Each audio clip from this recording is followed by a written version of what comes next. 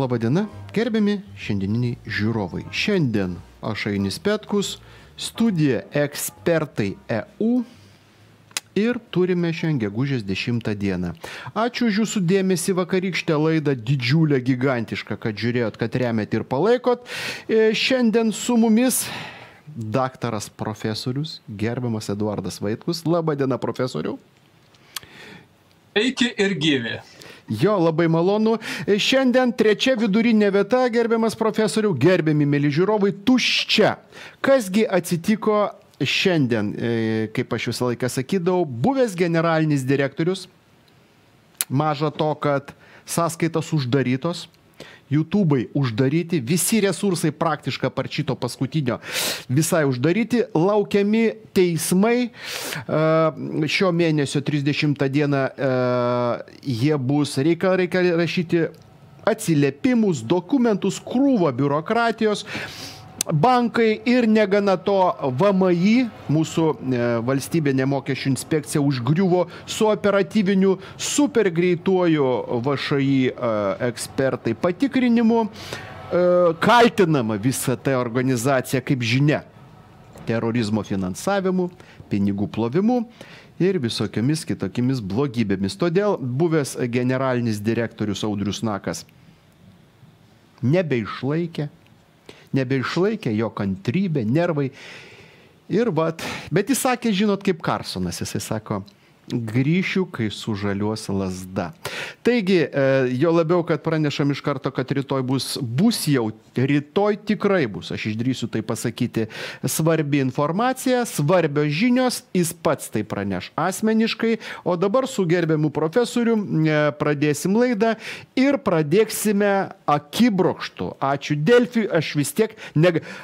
Žinot, da, daktarė man pasakė, buvęs generalinis, sako, daryk, ką nori šiandien. Darysiu e, akibrokštų šau ir pra, pradėsiu vano šito straipsnio. E, Kauno meras Visvaldas Matijošaitis ruošiasi vestuvėms.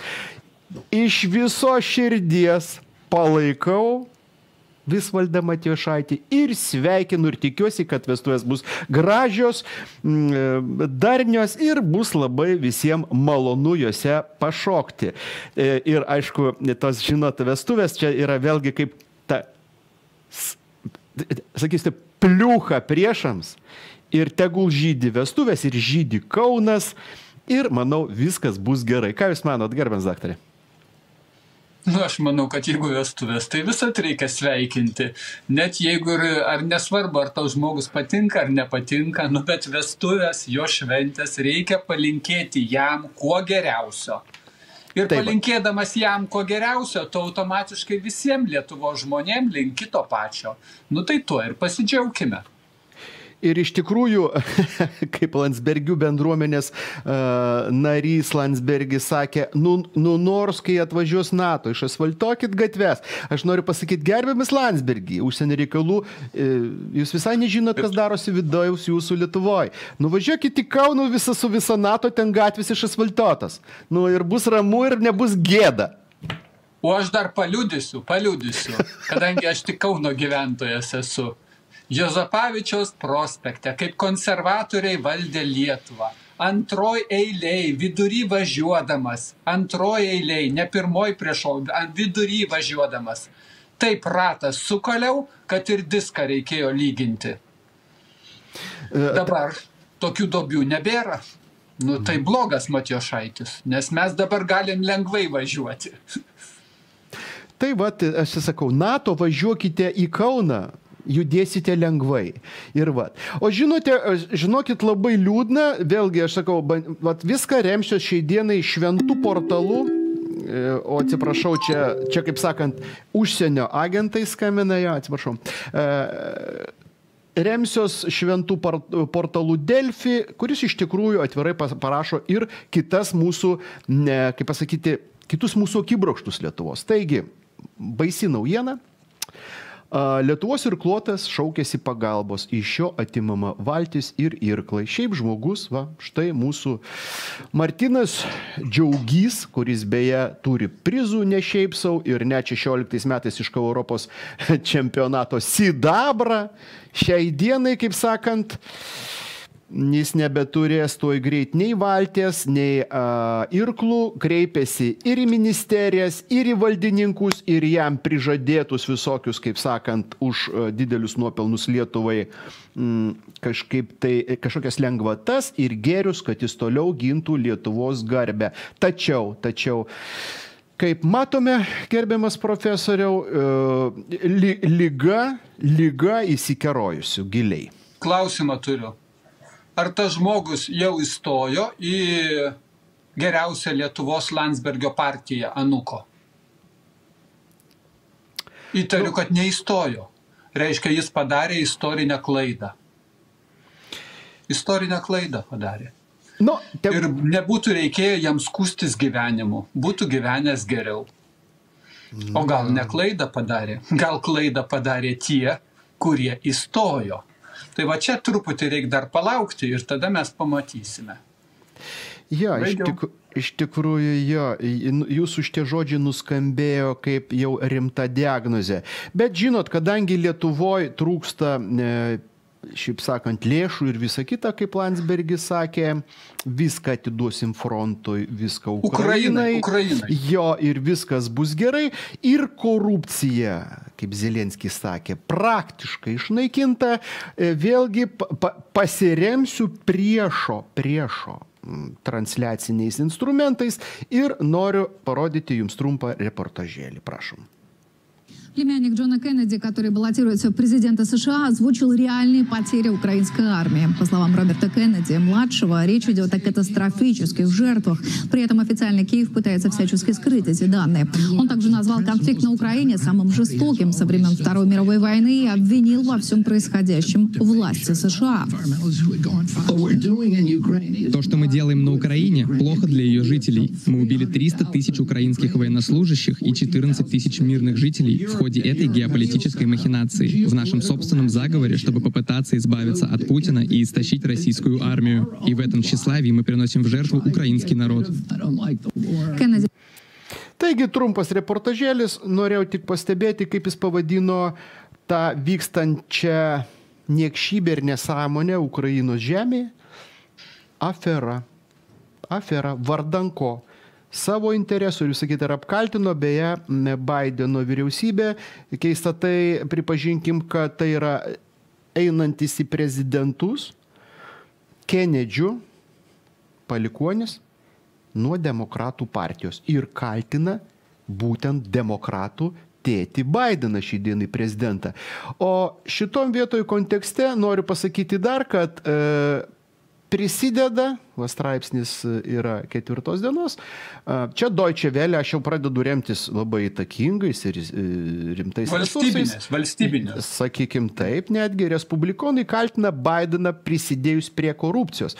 Ir šiai dienai senatoriai va, e, ir, ir, ir, ir, ir, e, ta prasme, parašė laišką JAV generaliniam prokurorui ir turi informacijos beje, remiantis federalinių tyrimų biurų. Jie taip ir sako, Teisingumo departamentas ir FTB atrodo turi vieningos patikrinamos informacijos, nu ir taip toliau, ir taip toliau, e, kaip sakant, apie tai, ką reikia atskleisti Amerikos žmonėms. E, kodėl aš šitoj vietoj bandau jums tai parodyti, kad šį dienai kandidatai į prezidentus, o ne tik Fox News e, kažkoksai tai kažkoksai, tai ten reporteris sako tiesą, mm, noriu įvardinti tai, kad ypač, ypač, kaip jums pasakyti sąžiningai, mm, sunki padėtis yra šiai dienai ir sudėtinga Amerikos viduje, viduj pačių klanų. Kadangi šį dienai mesgi rodėm, kad šitas pats Kennedys apkaltino Centrinio žvalgybos valdybą prisidėjus prie jo dėdės nužudimo.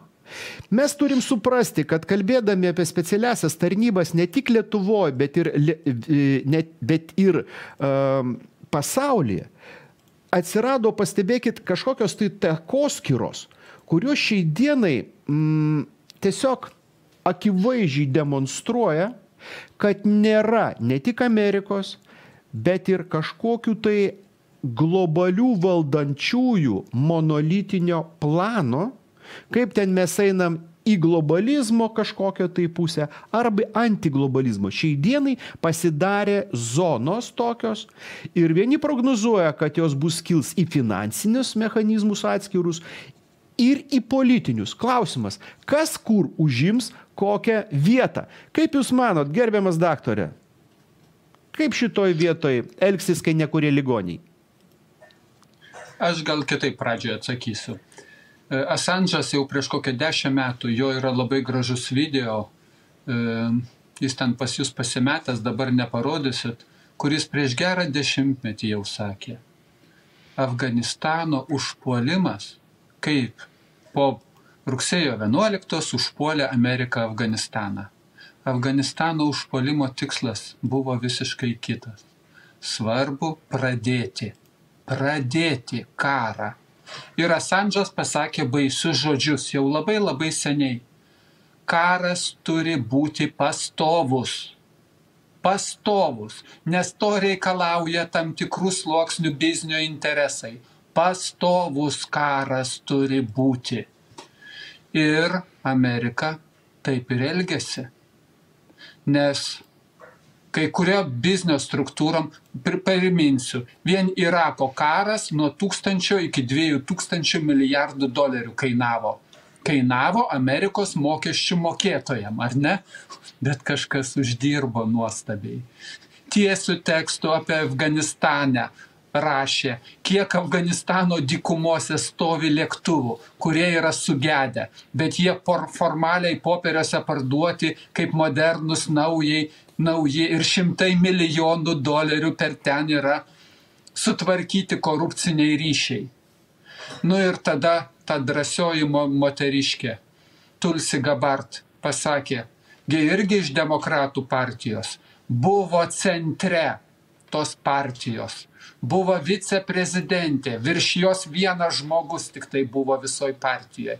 Ir jinai pasakė, tai karo šalininkų valdoma totaliai partija. Tai karinių pramoninio komplekso valdoma partija ir jinai daro viską, kad būtų tam kariniam pramoniniam kompleksui būtų geriau. Tai mane džiugina, kad netgi Amerikoje tie, kurie buvo centre, tie, kurie buvo ir pamatė, netgi tie, arba kaip tik tie, pasakė, kad taip toliau nebegalima, nes tai baigsis ne tik mūsų visų sunaikinimu, bet ir visos žemės, visos civilizacijos sunaikinimu. Ir dabar kaip tik yra kritinis taškas, kritinis taškas karo ir taikos. Elementarę tiesą mes norim pamiršti, valdžia nori, kad mes pamirštumėm nuo ko dabartiniai įvykiai prasidėjo. Nekalbam apie ekonomiką, kuri turėjo, turėjo griūti.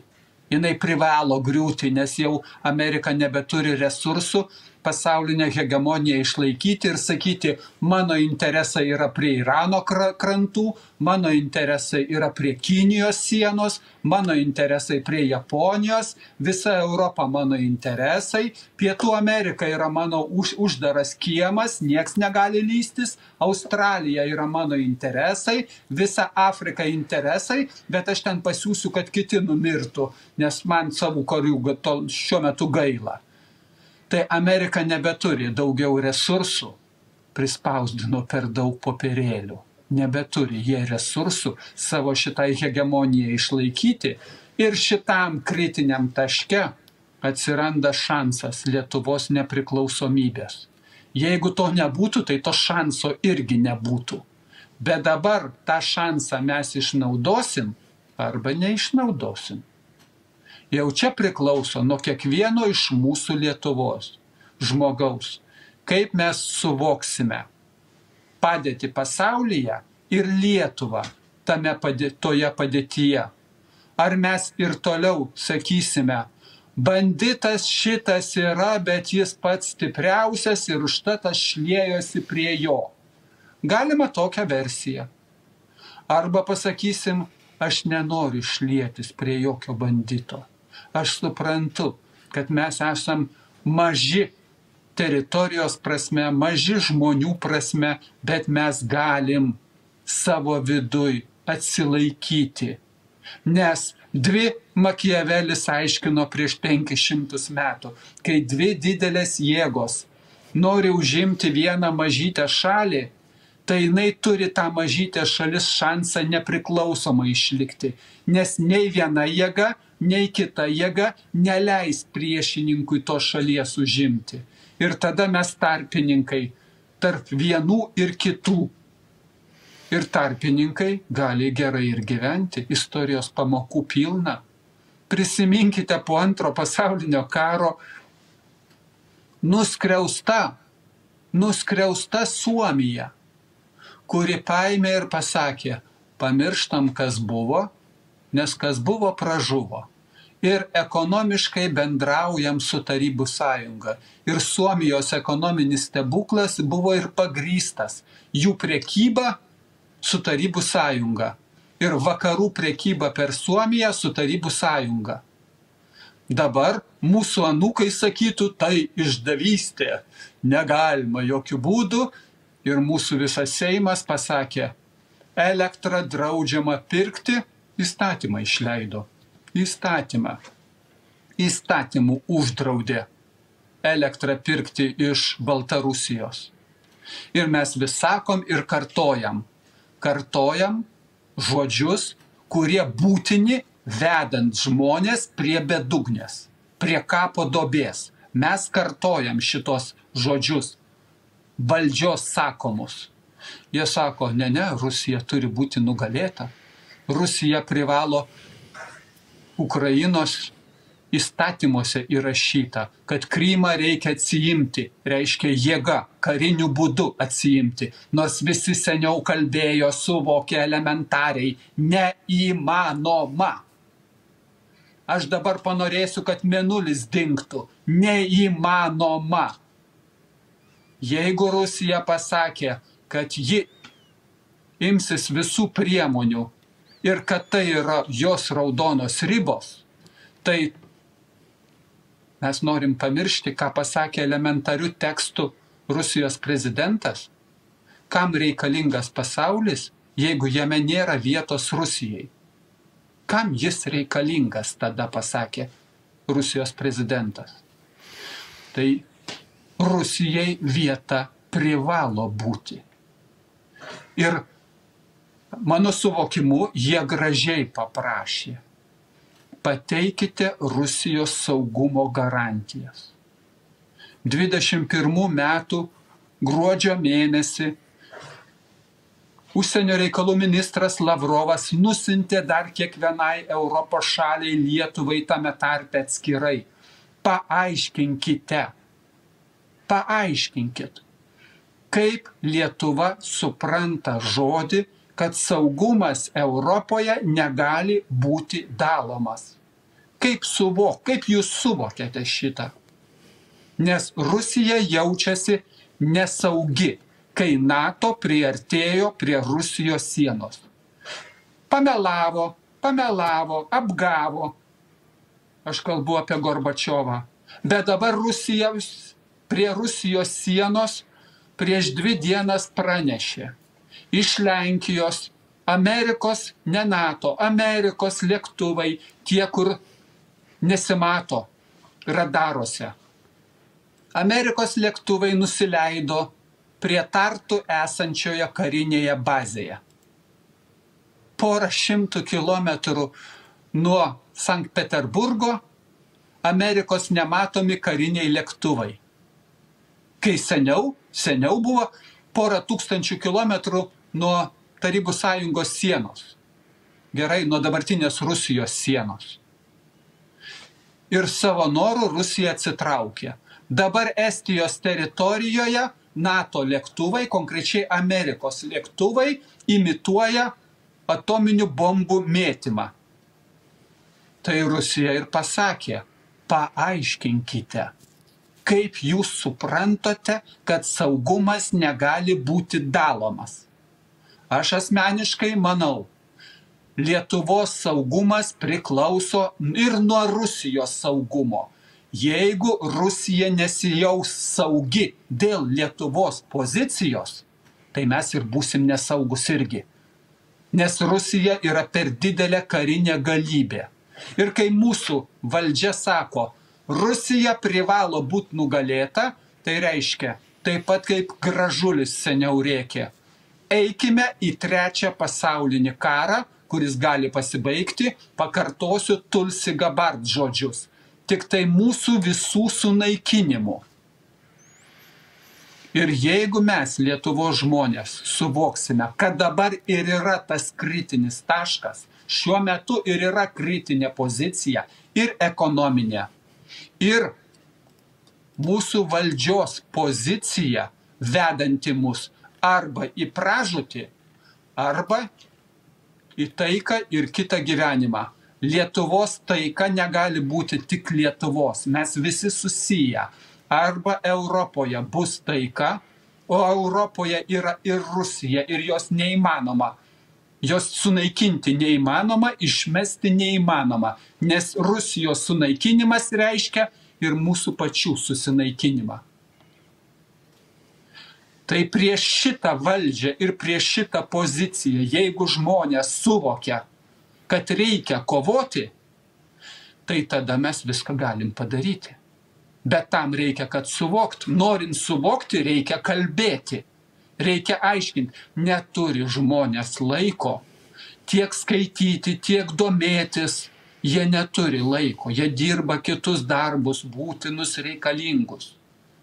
Ir kaip valdžia tiesos ir melo portalą paleidę, užraukia bet kokią kitą nuomonę, dezinformaciją sukeša, tai žmonės ir gyvena paraleliniam pasauliu. O paraleliniam pasauliu mažas buvau. Žila, žila barždžio senelio plaukai ir kreivųjų veidrodžių karalystė. Meninis filmas vaikam buvo. Tai mes ir esam kreivųjų veidrodžių karalystėje. Norint, mes galim pamatyti realybės tą vaizdą. Kad mes čia su jumis, Aini su jumis, su Audrum Nakum, 231 kartą parodysim, kur jie meluoja. Nuo to nieks nepasikeis. Arba mes pradedam veiksmus, tegul VSD gerai žymisi, tegul VSD seka, tegul kratas daro, tegul mokesčių inspekcija užleidžia, tegul pasako, kad e, jums reikia apieškoti, bet nesuimti nusispjauti ant tos VSD. Arba mes pasakome, mes nesutinkame su šita dabartinė padėtim ir norime gyventi. Ir 356 karto pakartoti nebereikia. Nebereikia. Nu gal kam nors reikia, bet man atrodo, kad nebereikia. Ir užtat šitas kritinis taškas mūsų mąstyme irgi turi ateiti. Pabaigsiu viena mintimi, elementaria ir paprasta. Aš žinau, kad žmogus, tarkime, va, kažką tai pavogė. Ir dabar žinodamas, kad tas žmogus pasielgė nedorai, aš dabar prašysiu, kad jisai ateitų ir pasaugotų mano namą, kai aš kažkur išvažiuosiu. Nu ir tas žmogus tada tą namą apvoks. Kai tas žmogus apvoks namą, aš sakysiu, oi, koks jisai blogas, negeras ir taip toliau. Ir dabar tada klausimas. Klausimas paprastas. Tas žmogus, kuris ant žinojai, kad jisai vagia. Ir jis apvogė tave. Tu pats žinojai, kad taip jis pasielgs. Tu pats esi kaltas, kad tu jį pakvietei kai mes pamatom politinės prostitutės ir išdavikus, mes juos išrenkam antrą kartą. Mes juos išrenkam antrą kartą. Tai pamastyti reikia pradžiai nuo savęs, mažas žingsnelis. Ir apie save pamaščius, apie savo moralinius orientyrus pamaščius, tada pagalvoti apie mus visus ir kur mes norim eiti - susinaikinimo keliu ar tiesos ir teisingumo ir taikos keliu. Nu, prikalbėjau visai ne į temą, bet mes kalbam įvairiai įvairius faktus dėliojam, o šičia, šičia, ką aš pasakiau, man atrodo ir yra esmė. Nes dabar mano noras ir mano siekis atgauti nepriklausomybę Lietuvai. Mes tą galim padaryti. Baigiau.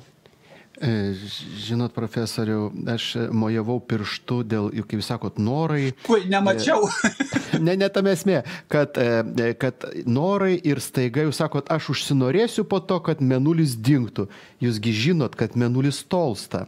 Reiškia, gali būti realybė. Vat jūsų noras dėl Lietuvos irgi gali išsipildyti. O iš tikrųjų, jūs labai gerai pasakėt, realybės vaizdą pagaliau reikia iš tikrųjų pamatyti ir nustoti gyventi iliuzijai. Kiekgi mūsų farmacija melžia, o mes vis tikėjom, kažkas tai tikėjo dauguma, kad čia kažkas yra tokio. Baimė, Ten... baimė, baimė. Taip. taip. Dabar nuo farmacijos mūsų melžia karinė pramonė ir mes, mes vėl tikim kažkokiu tai e, e, tas, kas mums primeta tą Kažkas karą. kitas pagelbės. Taip, taip. Taigi šitoj vietoj kaip? Vat mes pabaigai greit parodysim greitai, kaip pasaulyje susidaro ta realybė ir kaip pasaulio šalis ieško tos tikriosios apčiopiamos realybės ir kaip suka uodegas. Vat pavyzdžiui, įsivaizduokit, šiandien prieš kelias valandas Deutsche Welle straipsnį žiūrėkit. Rusija denonsuoja sutartį dėl įprastinių ginkluotųjų pajėgų Europoje. Noriu pasakyti, kad šita sutartis apie paprastųjų ginkluočių, kaip sakant, e, apribojimus buvo pasirašyta 1990 metais. Tai yra, kai griuvo Tarybų sąjunga ir Rusija po to pasirašė tą sutartį apribojimo. Tai yra, mes papuolėm į tą paradigmą, kur e, NATO kažką pažadėjo, rusai patikėjo ir mes įgriuvom į šio metinę situaciją dėl melo. Ir atkreipiu dėmesį, o rusai, Putinas dabar šiai dienai tą sutartį denunsuoja. Ką tai reiškia? Jie pasakė, kad gamins ginklų, ar tankų, ar raketų tiek, kiek jiem reikės. O jeigu jūs galvojat, kad jie meluoja ir kad jie kažko nepasigamins, nu, Lietuvai tik ir reikia žiūrėti iš tos baisiosios jėgos pozicijos. Taigi, žiūrim iš karto, kas yra dėl NATO ir Erdogano ir Turkijos. Čia yra senas straipsnis, nu, saliginai senas, gegužės 8, bet žiūrėk, visa, žiūrėkit, visam NATO svarbus įvykis dvitaškis. Erdogano laukia reikšmingas išbandymas. Jeigu jūs pasižiūrėsit biškai įdėmiau iš tą straipsnį ir pagalvosit, kas atsitiko, ogi mes jau matome, kad Lietuvoje pradeda kalbėti apie tai, kad Erdoganas yra blogas. Kodėl? Ogi tai, kad elitų skyli šiai dienai Junktinėse Amerikos valstybėse ir Kenedžio pasakymai, pasisakymai apie centrinį žvalgybos valdybos galimai prisidėjimus ar turėjimus žinių apie žmonių nužudimus. Hmm. Suprantate, apie ką aš kalbu? Toliau einant kalboms, kad e, Bideno vyriausybė, kai mes rodėm, ir Bideno šeima prisideda prie korupcijos, kad rodėm apie tai, kad jis pasako, kad atsiprašau, Amerika yra kalta dėl e, Ukrainoje žūstančių karių, mes suprantam, kad šitam skylyje Erdoganas, kurio bus beje 14 dieną, už 4 dienų rinkimai Turkijoje, gali pakreipti, ko jie bijo. Bijo ir mūsų lietuviai bijo šitą valdžią, valdžią klanai, kad Erdoganas gali pakreipti Turkiją į kitą pusę ir NATO pasidarė grėsmės. Jie visur gyrėsi, kad NATO monolitinė ir čia visa kita. Ir va dėl to yra didžiulė, didžiulė baimė. Ir štai šį dieną vieni elitai daro, kad Erdoganas laimėtų, o kiti daro, žinokit, kad pralaimėtų. Ir visi šitie žingsniai prieštaraujantis demokratų partijai, ką teigia Bidenas ir ką teigia Kennedys, jums akivaizdu. Taip, kad profesorė, jeigu turit ką komentarą, nes peršauksiu dar po to į Vokietiją, prašom. Gerai, tai aš čia labai trumpai, nes su Turkija gaunasi nenormali padėtis. Taip. NATO šalis, o NATO tai reiškia čia Europos pagrindinės valstybės, NATO karinis blokas, o ekonominė prasme jinai Euroazijoje, jinai su Briksu, nes Turkija jau pateikė pareiškimą įstoti į Turkijos nepriėmė į Europos Sąjungą. 20 ar 30 metų svarstė ir nepriėmė tai pateikia pareiškimą, jau yra jos rašytinis pareiškimas į BRICSO, įstoti į BRICSO ekonominę sąjungą. Tai tokiu atveju karinė požiūriu jinai sąjunga su Europa, o ekonominiu požiūriu jinai sąjunga su kaip tik prieš Europą esančiom šalim. Tai Turkija bus vienas iš svarbiausių komponentų, po kurio paaiškės, kas iš vis atsitiks su NATO. Nu ir dar po kitų metų Amerikos prezidento rinkimo. Jeigu Trumpas ateis, tai šansas yra, kad Amerika pasakys, jūs čia savo kieme ir tvarkykitės. Nu ir tada galbūt įsivyraus taika Europoje. Baigiau. Jo, visiškai teisingai pasakyta, už tai mes ir sakom, kad už keturių dienų bus labai įdomus lūžis. Šiai dienai, jeigu jūs nepastebėjot, kad e, iš e, Ukrainos ir kitur nacistinių šūkių ir fašistinių, kur sakė, kad toj toj bus e, Maskva per gegužės 9 vos neužbombarduota ir ten milžiniški pinigai buvo siūlomi už dronų nuleidimus ir ne tik visokius provokacijas teroristinės, tai šiai dienai, jeigu jūs pastebėjot, nieko Maskvoje neįvyko įdomu ir keista. Tačiau nuo Turkijos mes perinam prie kito labai svarbaus Turkijos partnerio, geopolitiniai ir e, globaliniai net prasme, tai yra Vokietija ir Europa. To, kad Turkijos eksportas, nuo kurio labiausiai priklauso, eina labai daug į Europą. Ir žiūrėkit, senas straipsnis rodau. Taigi Kinija mes jau rodėm jį, kodėl ir vadinu senu, Kinė griežtas persimėmis Europos Sąjungai. Neikite klaidingų kelių. Čia yra šiai dienai eina apie sankcijos Europos Sąjungo Kinijai, kuris įmonės bendradarbiauja galimai su Rusija. Toliau aš iškart rodau Vokietiją, apie Vokietiją straipsnį. E, Vokietijoje rimti nerimo signalai. Prieitas liepto galas. Čia šitam straipsnė žymima yra tai akcentuojama, kad Vokietijoje yra didelės problemos su imig emigrant, imigrantais ir kurių socialiniai rūpybai jo šitie imigrantai yra ir iš Ukrainos, yra didelės, didelės problemos finansinės. To, kad jeigu jūs galvojat, kad kaip te vadinama, lietuvių superekonomistų e, tomis frazėmis remiantis, kad infliacija mažėja, tačiau kažkodėl tai kainos parduotuvėse auga. Yra ta pati problema ir Vokietijoje. Taip, kad finansai mažėja, o problemos didėja. Ir e, apie tai, kad Kinija pareiškė, kad ES, tiksliau įspėja, kad atsargiai nedarykit klaidų, e, atsitinka taip, kad šiai dienai va jeigu mes pasižiūrėsim, kad, va irgi mūsų lietuviškas straipsnis, Kinijos užsienio reikalų ministras lankysis Vokietijoje, Prancūzijoje ir Norvegijoje. Tai yra apie tą paiešką po Saulę. Čia parašyta, kad e, Kinijos užsienio reikalų ministras lankysis, tai šiai dienai jis jau atvyko ir dirba Vokietijoje. Ir kaip žinia, ir Šolcas, ir Berbok buvo neseniai Kinijoje o šiai dienai jau kinietis atvykęs.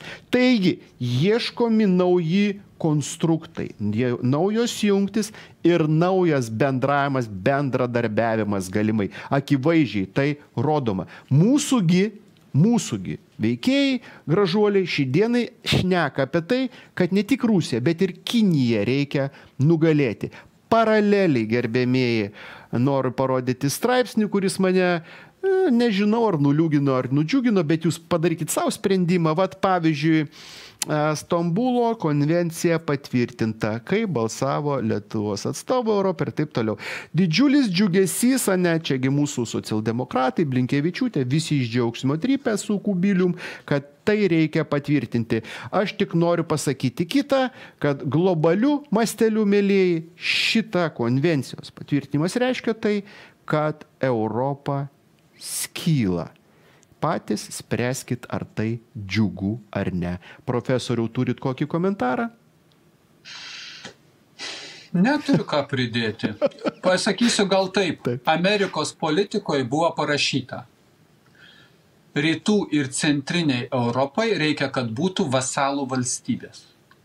Tai šitas vasalų valstybės jie tvarkingai valdo, nu vengrija dabar išsišoko jinai ko ten nu nenori iki galo būti ar ne o sena senąją tą vakarų europą jiems valdyti yra truputį sudėtingiau nes jos ekonominiai potencialai yra nepalyginamai didesni tai šitoj vietoj klausimas yra ne ar suskils o kada suskils ir iki kokio lygio ir kada bus galutinis kilimas.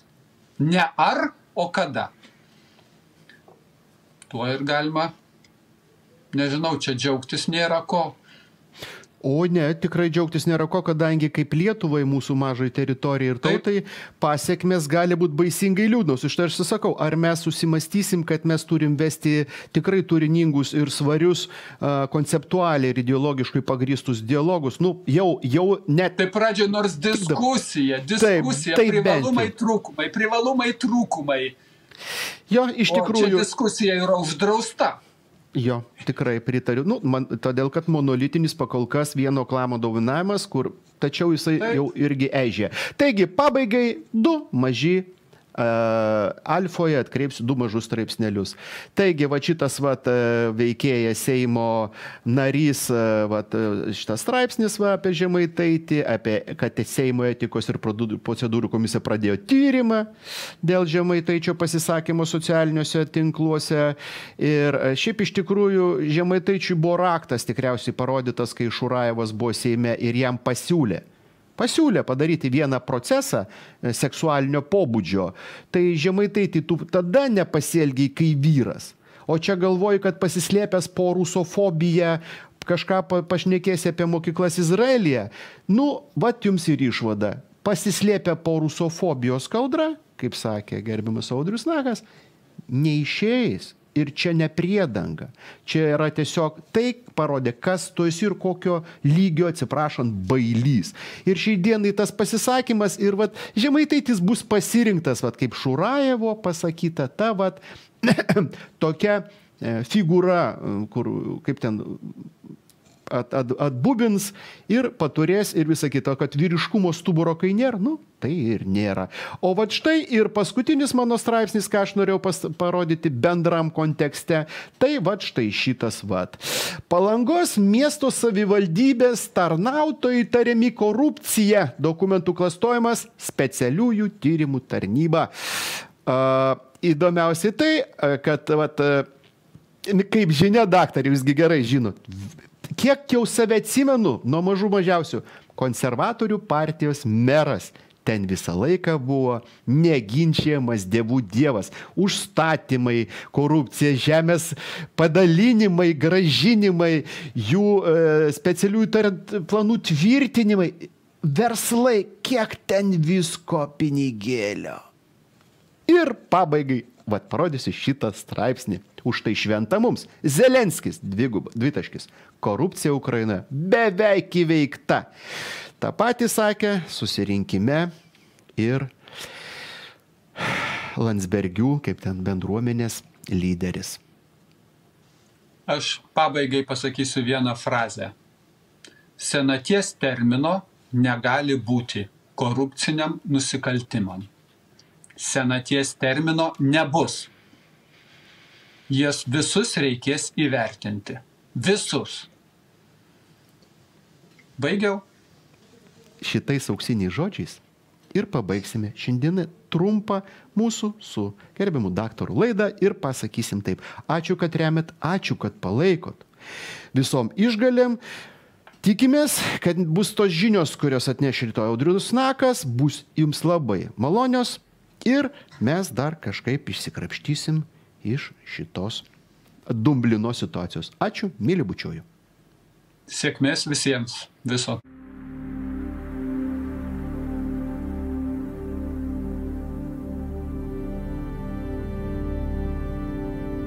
Man rūpi jūsų sveikata ir gyvybė.